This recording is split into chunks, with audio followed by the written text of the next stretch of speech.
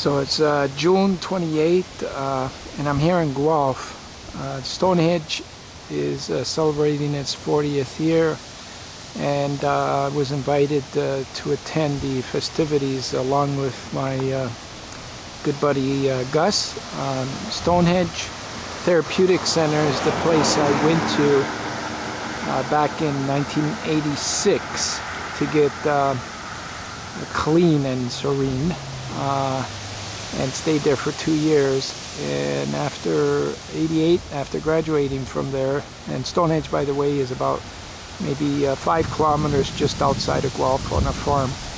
Uh, after graduating in 1988, I came to live at this house, uh, this beautiful house here, which became my uh, residence uh, for the next 12 years. And there's literally a ton of memories uh, in this house.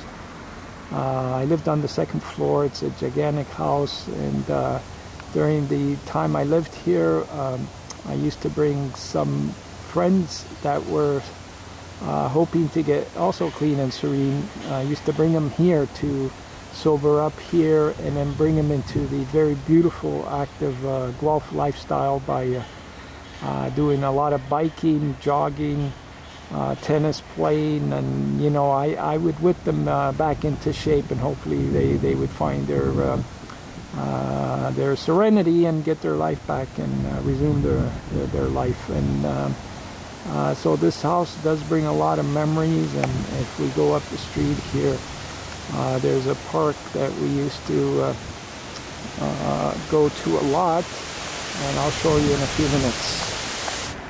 Okay, so back to the park, which is only about a half a block away from my house. Uh, used to do a lot of stuff in this park. There's a tennis court, which I don't think you can. You can probably just see the outsides of it uh, right there. And played a lot of tennis. Uh, did a lot of things here. When people came here, especially, we would get our bikes out. Uh, cycle through Guelph, uh, mountain bike some other places. We, there's a lot of places just outside of Guelph uh, that uh, have a lot of uh, wild nature in it. And, you know, um, we did a lot of things during the time I was here. A very active, very active living here. This is a university uh, city, but it's it's got so much old flavor. It's got that old-fashioned uh, uh, kind of town-like uh, feeling here as well.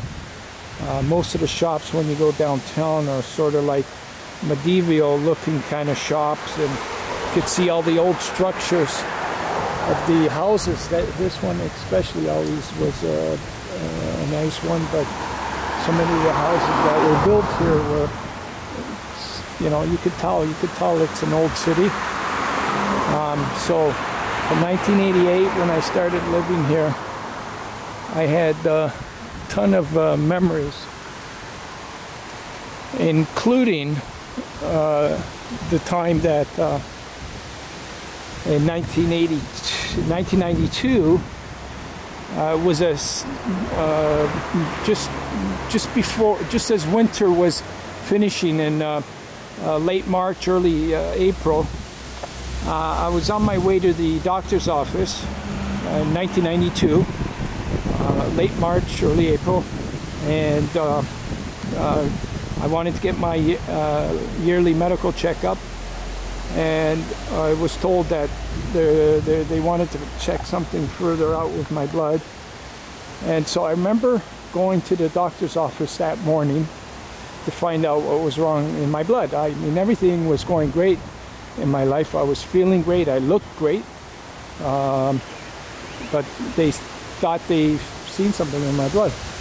So that morning, I remember I went to the uh, doctor's office, and just like any other morning, uh, doing what I usually do in Guelph, between work, between my activities, uh, between my uh, volunteer work, um, I went to go see the doctor that morning and I came away with the news uh, that I had terminal liver disease, and I probably had about two years left to live, and there was no treatment. and I didn't know about organ transplants at that time, so it wasn't revealed to me that that would be the only thing that could save my life if I could have got on the waiting list, which was uh, almost just as impossible. So that morning after receiving that news, I remember coming back here to my house where I was living and going up uh, to my room trying to digest what I just heard that I only had a couple of years left to live. And uh, two years later three years later in 1995 I got the call three years later in 1995 in in uh, on August uh, August the 3rd it was two in the morning I got the call here that a liver was available and to come to Toronto for the transplant. And that morning two in the morning August 3rd 1995 I remember my friend Marino drove me and we got onto the highway 401 and on our way to Toronto uh, where the transplant happened at Toronto General Hospital and as a result my life was saved and step by step was born and from 1995 till today there's there's been uh, 16 years of journey um, since I received that life, but it all started here. So I thought I would get some footage here to give you an idea of this marvelous journey that is still ongoing, as you well know, as we're trying to get uh, Ismail here and have his his late son Ahmed breathe new life into the torch to keep it going as we go along. So anyways, thought I'd share this uh, with you while I was here in Guelph. One day we'll come back and, and get more pictures. But over and out.